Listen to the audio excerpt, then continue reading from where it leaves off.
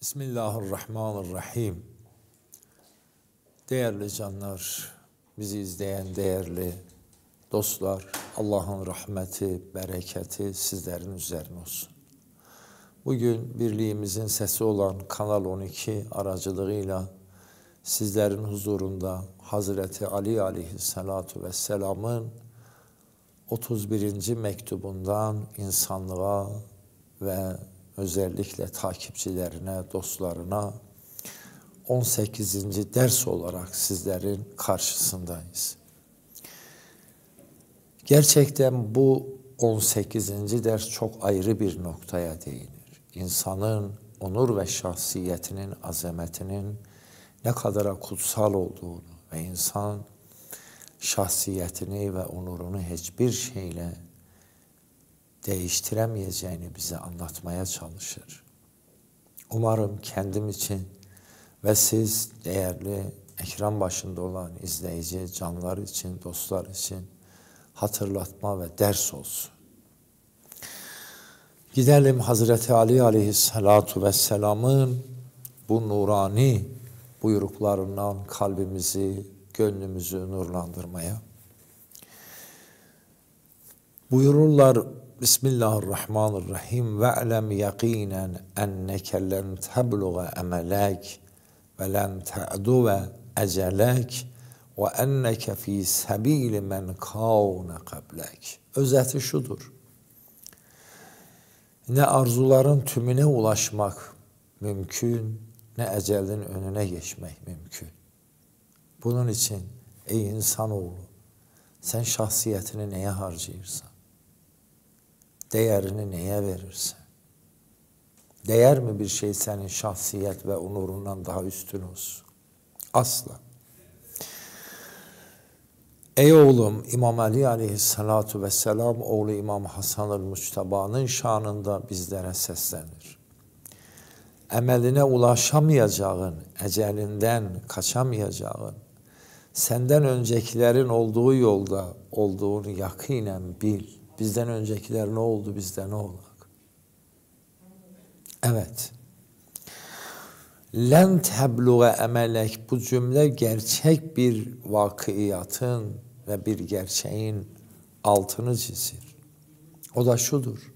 Bu dünyada hiçbir insan bütün arzularına ulaşamadı. Çünkü arzuların sınırı yoktur. Arzuların sınırı olmadığı gibi insanoğlu arzuların peşine takılıp gittiği zaman bir an bakır ki ömür sona erdi. Ama arzular hala tükenmedi. Bunun bu gerçeği bize Hazreti Ali aleyhissalatu vesselam delillendirerek, kanıtlarla anlatmaya çalışır ki senle arzuların bütününe ulaşabilirsin ve ne ecelinin önüne geçebilirsin. Peki ne yapmamız lazım? Fehaffiz fit talep. İstekleri azalt, rahat ol. Rahat olmak istiyorsense arzuları bırak. İnsani değerlerinle yaşamaya bak. İnsanca yaşamaya bak. Arzuların peşine takılıp stres, sıkıntı, üzüntü, dünya telaşa ve meşgalesi içerisinde kendini heba etmekten kutar. Bu ikinci cümle çok çok önemlidir kanıt olarak. Ve ecmil fil mukteseb işlerinde, ticaretinde denge koy. Dengeli ol. Düzen içerisinde yürü. Aşırıya kaçma. Geriye de kalma. Denge budur. Teadül budur.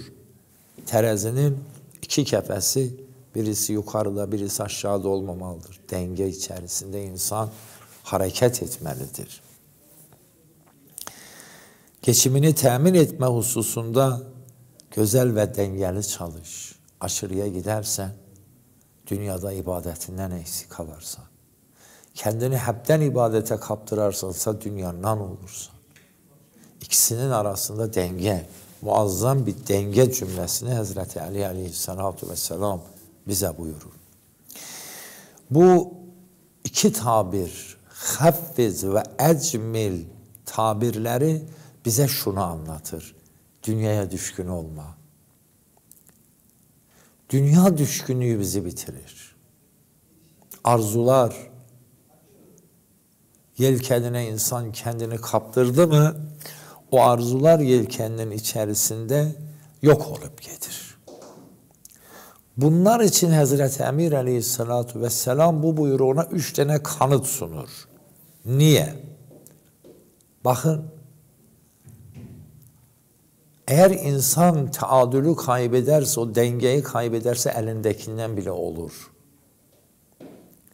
Ne buyurur? Bir, فَاِنَّهُ رُبَّتْ حَلَبٍ قَدْ جَرَّ اِلَى حَرَبٍ Harab elindekini kaybetmen anlamınadır. İstekler yelkenine, arzular yelkenine kendini kaptırar, geceli gündüzünü heba etmek için çırpınarsın Ama elindeki olanı da kaybedersin. Ve en önemlisi sağlığını da kaybedersin. Zira nice çok çalışanlar çok çalış ne, e, zira nece çok çalışmalar insanı elindekinden eder. Kontrolü kaybettin mi nereye toslayacağını bilemez. Bu bir denge koy. Dünya düşkünlüğü bu dengeyi bozur.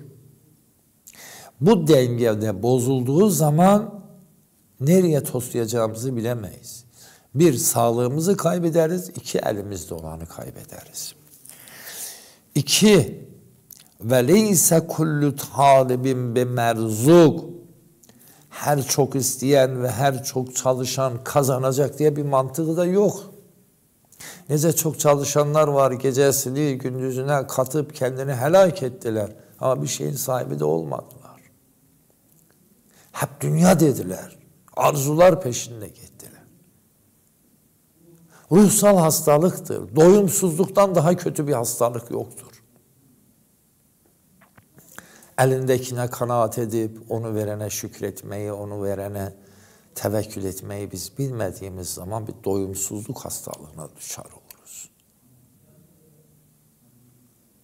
İnsan böyle bir hastalığa düşer olduğu an itibarıyla değerli canlar gecesini gündüzünü heba eder. Bir şeyler koysun bir kenara ama koyamıyor. Onun birikim yapamadığı zaman onun vermiş olduğu stres, sıkıntı, o bedenin yorgunluğu bütünü ayrı bir telaş olarak ona yüklenecek, ayrı bir dert ve sorun olarak ona yüklenecek. Bunun altında kurtulamayacak ve kalkamayacak.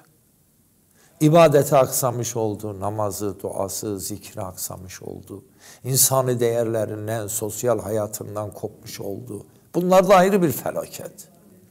Nedir? Ben çok çalışsam kazanacağım. Çalışma demir Allah sana. Çalışmana karşı değil. Ama denge koy.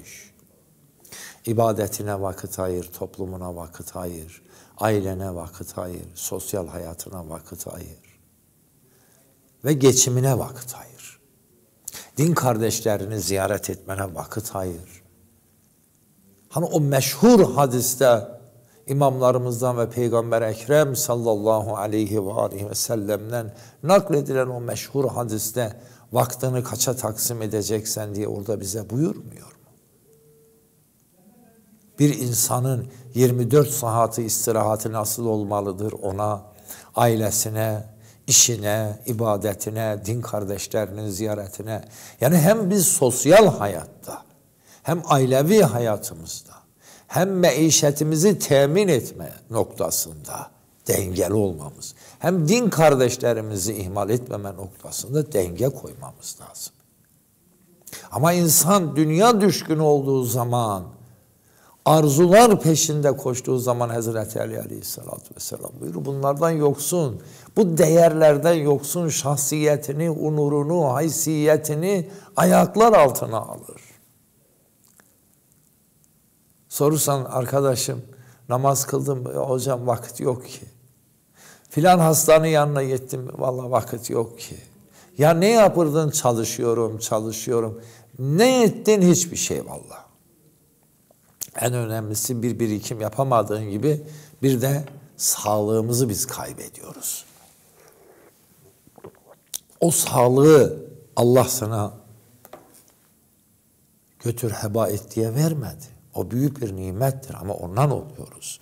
Dolayısıyla buyurur ki ve leyse kullu talibin be merzuk her çok isteyen ve her çok çalışan çok rızık kazanacak diye bir kural yok.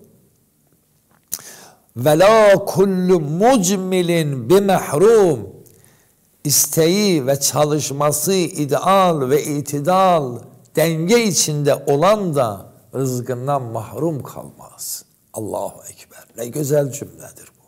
Altınla yazıp koyup evimize bakmamız lazım sabah akşam. Ki hayatımızda denge olsun. Bu denge unsuru olmalıdır. Bu denge unsuru olmadan olmuyor. Bu cümlenin mezmununu Allah Resulü sallallahu aleyhi ve aleyhi ve sellem bir hadisinde bize şunu buyurur. Ecmilu fi talebid dünya. Dünyevi isteklerinizde denge kurun. Fe inne kullen muyassarun limen hulika leh. Senin için yaratılanlara sen ulaşacaksan rızkını veren var. Sen dengeli ol. Çalış. Çalışma yok. Üret. Üretme yok. Demiyor Allah üretken olmayın. Üretin. Üretirken de denge, çalışırken de denge, ibadette de denge. Sabah akşam git camiye ibadette geçir. Bu olmaz. Sabah akşam oku Kur'an oku. Bu geçerli değil. Bu geçerli olmadığı gibi çünkü denge kaybıdır. Sabah akşam çalış, çalış, çalış, insani değerlerden yoksun. Bunun da bir değer yoktur. Allah peygamberi bize bunu buyurur. Devamen Hazreti Ali Aleyhisselatu Vesselam şöyle buyurur. Bakın insani şahsiyetten dedik konuşmamızın konusu bu. Bu cümleden o konuşmanın başlığını aldık. Ve ekrim nefsek. Şahsiyetine değer ver, onu aziz bil. Neden? En kulli deniye. Her türlü aşağılıktan uzak dur. İnsan Allah'tan koptuğu zaman zaten kendini aşağılamıştır. Aşağılayabildiği kadar aşağılamıştır. Bizim izzetimiz, bizim değerimiz, bizim şahsiyetimiz, bizim azametimiz Allah ve Resulundandır. Bu kavramlardan koptuğun zaman insani değerlerden uzaklaşacaksan. Denge olmadı. Ve in saqatke iler regaib. Çok ilginçtir bu cümle. Eğer insan nefsani isteklerin peşine takılıp giderse sonu bucağı yoktur. Nihayetsizdir onlar. Bundan dolayı Hazreti Emir Aleyhisselatü Vesselam ne buyurur? Nefsin seni isteklerine yönelse bile nefsinin bütün aşağılıklardan sen üstün tut. Nefis budur da bizi götürmek içindir bir yerlere. Niye Allah peygamberi buyurup da en büyük cihat nefisle savaşmaktı? O bizi götürmekle alıp götürecek bizi bir yerlere. Ama biz onun önüne geçeceğiz. İmam Ali buyurur onun önüne geçin. O arzuların önüne geçin. فَاِنَّكَ لَنْ تَعْتَابَ بِمَا تَبْظُلُ مِنْ نَفْسِكَ اِوَزَ Allahu Ekber. Kendinden verdiğin o ödünler var ya, şahsiyetinden verdiğin o ödünleri kazanamayacaksın. Eğer kendini ayak altına aldırdığın şahsiyetini, azametini, 3-5 günlük dünya için, dünyevi değerler için ayak altına aldırdın, o nefsinden ve şahsiyetinden verdiğin o ödünleri bir daha kazanamayacaksın. O yüzünün suyu çok kutsaldı. Yücedir senin o değerin. Onu korumadın Ufak bir şeylere değil, büyük bir şeylere de versen, değişse onu kazanamayacaksın. Bak ne diyor Emir Mumin. Yaz koy oraya. Her gün kalk oku ya. فَاِنَّكَ لَنْ تَعْتَاذَ بِمَا تَبْزُلُ مِنْ نَفْسِكَ عِوَزًا Zira kendinden verdiklerini bir daha elde edemezsin. Bu kendimizden verdiğimiz sağlığımız da olur. Şahsiyetimiz de olur. Sade şahsiyetimize, sağlığımız da biz elden verdiğimiz zaman tekrar kazanamıyoruz. Kazanabilmemiz için de kazandıklarımızı feda ediyoruz. Bak o yolda döküyoruz hastanelere. Yediğimiz yemeğin tadı yok, içtiğimiz çayın, suyun tadı yok. Uykumuzun tadı yok. Neye yaradı? Kazandın sözde, topladın ama tad yok, huzur yok. Ve sağlığından verdiğin o ödünü kazanamak, kazanmak ne kadar zorsa şahsiyetinden verdiğin o ödünü kazanamazsın buyurur ama. En önemli değer de budur. İnsani değer. Ya beni Adem, Kur'an buyurur. Ey Adem evlatları, kerremna, size değer verdi. Senin değerin bu değildi ki. Bir makam için, bir şöhret için, bir dünyevi arzular, istekler, mal, mülk için onları ayak altına alasan, onları ayak koyasan. Bu değildi. Devamen buyurur beşinci noktada ve çok çok önemli bu nokta. Ve la tekun abde gayrik fakat cealekallahu hurra. Çok önemlidir. Bu çok çok önemlidir. İnşallah bunu kısa bir aradan sonra da devam ettireceğiz. Allah seni hür olarak yaradı, özgür yaradı. Kimsenin kulu olma. Kul olacaksa Allah'a kul ol. O senin değerini öyle bir vermiştir ki bir kimse senin o değerine paha biçemez. O seni özgür yaradıp diyor. Özgürlüğünü tutsak etme. Yazıksın.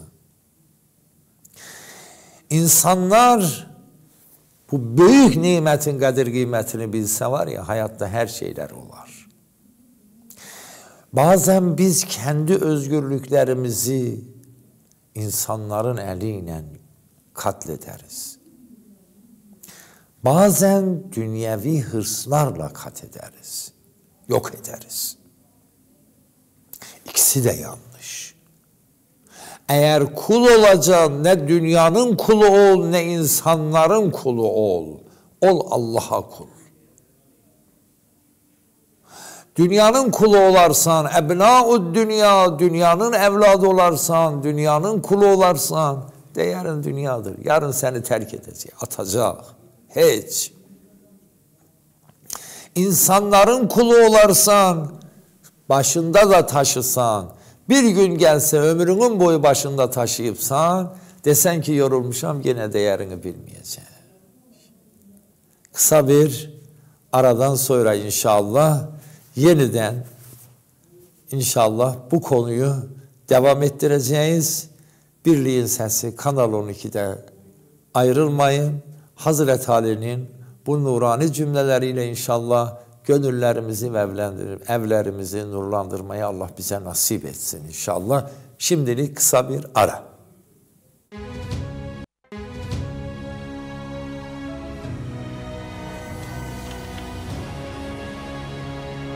Evet değerli canlar, kısa bir aradan sonra birlikteyiz. Hazreti Ali Aleyhisselatü Vesselam'ın şu cümlesini arz etmeye çalıştım huzurlarınıza. Şunu buyurdular. Ve la tekun abde gayrik ve kad cealekallahu hurra. Başkalarının kulu olma. Allah seni özgür yaratmıştır. Dedim ki bu özgürlüğümüzü elimizden alıp götürebilecek iki şey var. Bazen biz bu özgürlüklerimizi insanlara teslim ederiz. Bazen hırslarımıza, dünyevi isteklerimize. İkisi de yanlıştır. Allah bizi özgür yaratmıştır. Bu özgürlüğümüzü elimizden biz hiçbir zaman vermememiz lazım. Eğer kul da olacaksa Allah'tan başkasına kul olmayalım. Çünkü odur bize değer veren. Odur bizim bu kulluğumuzun karşılığında paha biçilmez değeri bize sunan ki hiçbir şey onun karşılığı olamaz Allah'tan başka. Ona kul olan yücelir. Ondan başkasına kul olan zelil olur. Bakın e, e, Ehl-i Beyt imamları aleyhimussalatu vesselam ne buyurmuştur? Şehitlerin efendisi bugün de Cuma akşamı İmam Hüseyin aleyhissalatu vesselam'ın ziyaret günü. Peygamberimizin reyhanı, gözünün nuru ne buyurmuştur bu konuyla ilgili? Ela ve inne da'i yebne da'i kad rekeze beyne sneteyn beyne silleti ve zillah. Soysuzlar, napak olanlar, esaletsizler, soyu belli olmayanlar beni iki şeyin arasında koydular. Biri zilletin yani kendi isteklerine boyun eğmemi istediler. Diğer biri ise ölümü seçmemi. Ve heyhate minne zille. Ben ölümü seçerim ama zilleti kabul etmem. Bu bizim imamımızın hayatıdır. Zalimler tarih boyunca günümüzde de insanları tutsak etmeye gidiyorlar. Bazen bunlar şahıslar bazındadır, bazen bunlar milletler bazındadır. Bazen siz insanları birey olarak tutsak ederseniz, kendinize kul, köle olmalarını isterseniz,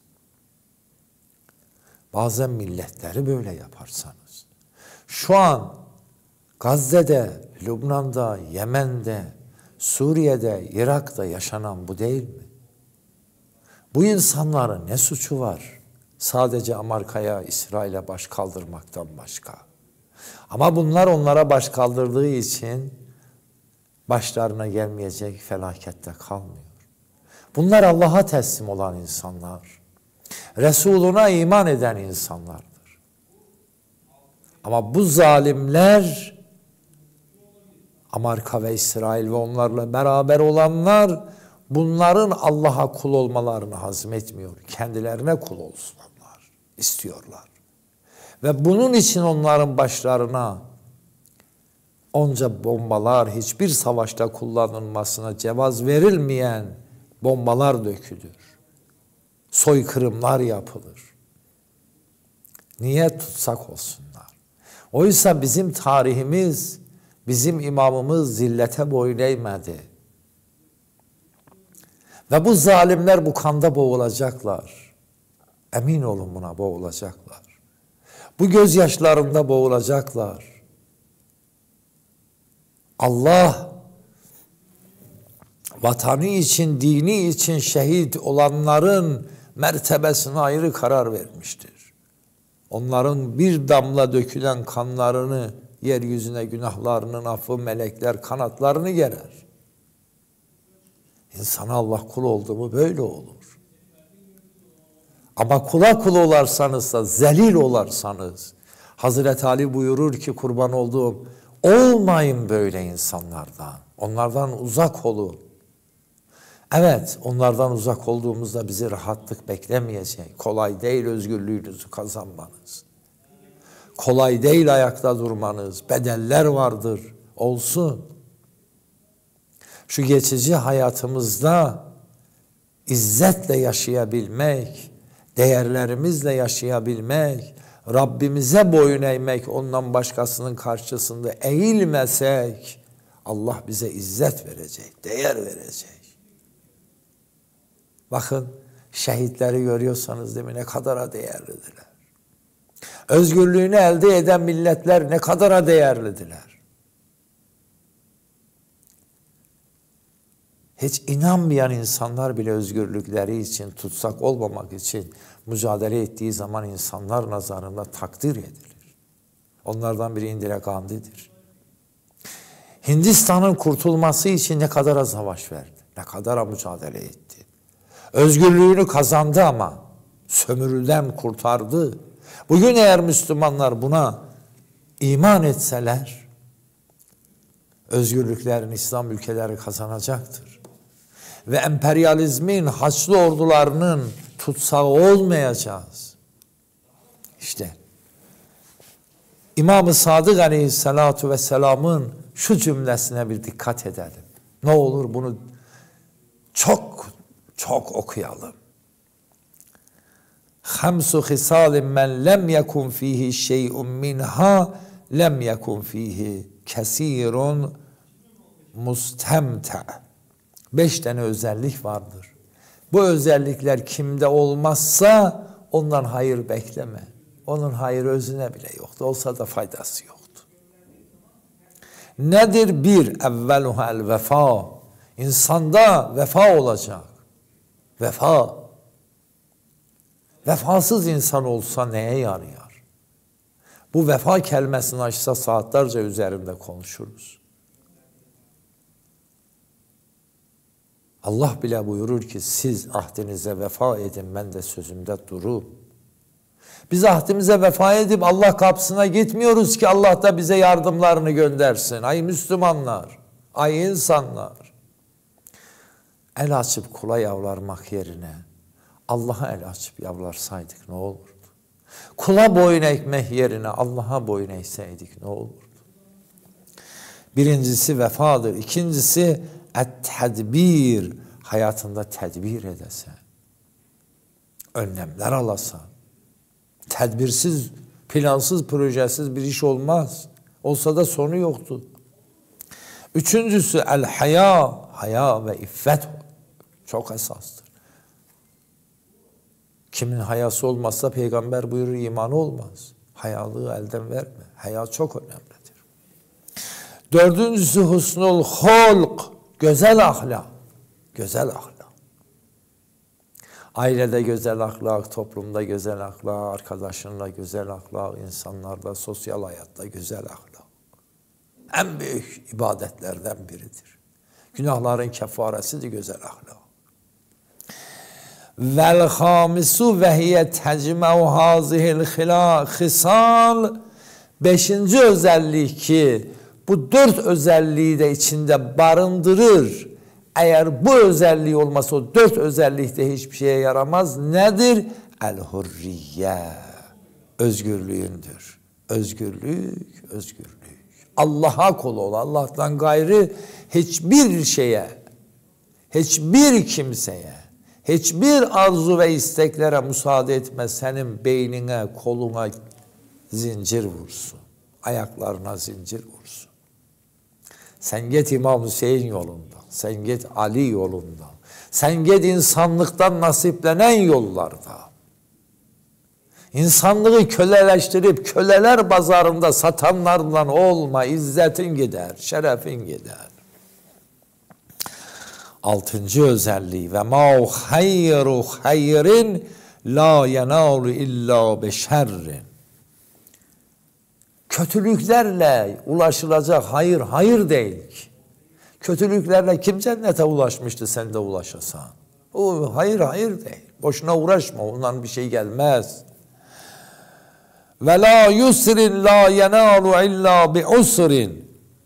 Her kolaylığı ki özünü parçalayarak ona ulaşmak istiyorsan o kolaylık da değil. Niye? Çünkü sağlığını kaybedeceksin, imanından olacaksın. Valla neymiş ben rahat edeceğim. O rahatlık rahatlık değil. Üzümün suyunu tökeceğim valla ben rahatlık edeceğim. Şahsiyetini ayak altına aldıracağım valla ben rahatlık edeceğim. Bu rahatlık rahatlık değil. Değerlerinden kopacağım valla ben rahat edeceğim. Makam için valla ben makam sahibi olacağım, değerlerimi ayak altına alacağım. Olmaz olsun hepsi. Olmaz olsun. Bunun için Hazreti Ali aleyhissalatu vesselam buyurur kötülüklerle ulaşılan hayır hayır değil. Çok aşırı güçle çalışmayla aşırı çalışmayla ulaşılan kolaylık da kolaylık değil. Üzümün suyunu töküp sen ona bir şey olmaz ona at koy geçsin. Çok çok önemli bir cümle daha ve iyyâke en tuzife bike metâye teme'i fetûrideke menâhilel halak. Çok ilginç, Çok çok ilginç. Tamah bineğiyle yola çıkmaktan sakın oğul. Ey benim dostlarım, ey insanlar. Tamah bineğine binip yola çıkmayın. O serkeşti. Onu kontrol edemezsiniz. O sizi kontrol edecek, alacak, götürecek, nereye toslayacağını bilemezsiniz. Kendinizi ona emanet etmeyin. Niye? Çünkü o seni suratla helak suyunun başına götürer. Nasıl helak suyu? Bir insan çok suyar değil mi? Normal bir şartlarda o suyu içmezse, doyumsuzluk hastalığına yakalanırsa, hayat olan o su onun ölüm fermanını okur. Onu yok eder, öldürür. İşte budur. Dünya budur. Dünya budur. Özümüzü burada helak etmeye gelmedik. Burada şikofe edip, marifet sahibi olup ona kul olmaya geldik.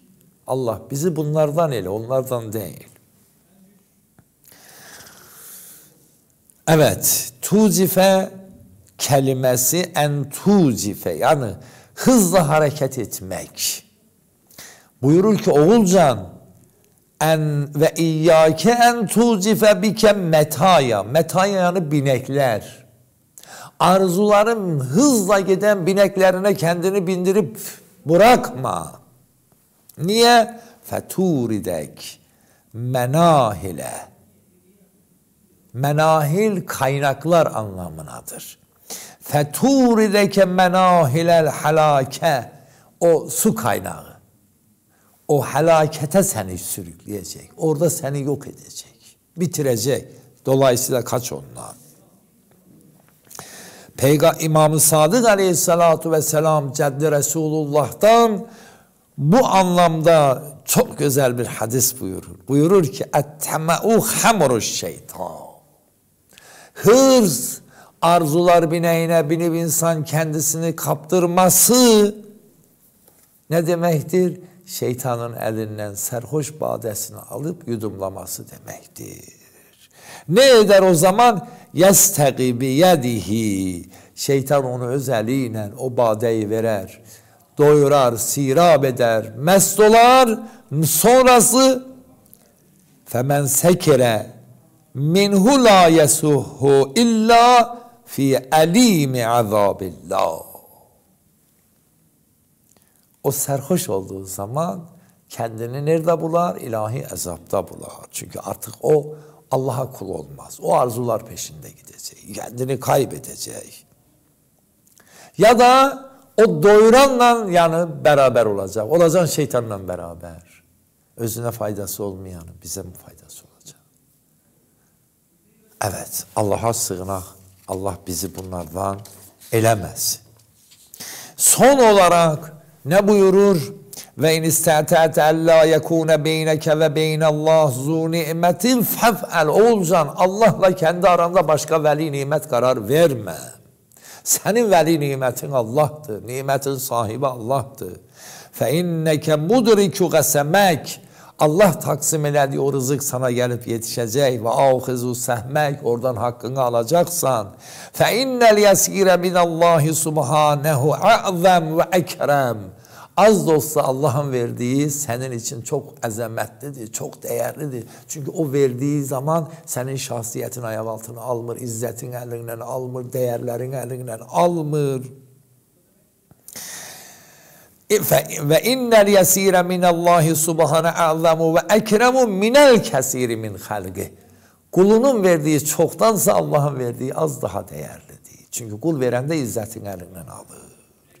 Ve in kâne kullun minhu. Tamamı da ondan olsa ama bil ki senin veli nimetin Allah'tır ondan başkası değil ve sen Allah'la beraber ol. Asıl veli nimetin budur. Başkası değil. Ve her türlü zorlukta, kıtlıkta Rabbinden iste. Çalışmanı da dengeli yap. Evet, cuma akşamı gidelim birkaç kelime de dua edelim. Allah sana ant verir Hazreti Ali aleyhissalatu vesselam'ı, İmam Hasan Avan'ı ve İmam Hüseyin Avan'ı. O yüzü suyu hürmetine bizi zelil eleme. Bizi dünya kulu ve kullarına kul etme. Gafletten uyandır. Allah'ım cuma akşamıdır. Kerbela şühedasını, şehitlerinin ziyaret günüdür. Onların ziyaret ve şefaatini bizlere nasip eyle. O yolda yürümeyi bizlere nasip eyle. Allah'ım evlerimize, kalplerimize Kur'an, iman ve ehl beyt nurunu nasip eyle. İmam Ali ağamızın bu buyruğuyla kalplerimizi nurlandırmayı ve nasiplenmeyi ve amel etmeyi bizlere nasip eyle. Allah'ım ülkemizden, milletimizden beliyat ve afatı, İslam aleminden beliyat ve afatı bertaraf eyle. Özellikle Gazze'mizde, Lübnan'ımızda, Yemen'imizde, Irak'ımızda, Suriye'mizde direniş güçlerini büyük şeytan Amerika, soykırımcısı, bebek katili olan cani İsrail'e karşı ve onlarla beraber olanlara karşı muzaffer eyle. Allah'ım şehitlerimizi İslam şehitleriyle, mukavemet şehitleriyle beraber şehitlerin efendisinin İmam Hüseyin ağamızın ziyar şefaatine nail eyle. Allah'ım Ehli Beyt'in ve birliğin sesi olan Kanal 12-mizə əmək verən, çalışan, hizmət edən, dəstək olan cümləsinin də əmvatını öz əmvatımızla bərabər evlərində bizi konuq olaraq qəbul edən canların ölmüşləri ilə bərabər cümləsini İmam Hüseyn ağanın şəfaatına və əvladlarının şəfaatına nail eylə. Birliyin səsi, əfəndim, Kanal 12-də qalın, huzurla qalın. Ayrı bir programda görüşmek üzere. Allah'ın emanında olun efendim. Ehli Beyt'in emanında olun.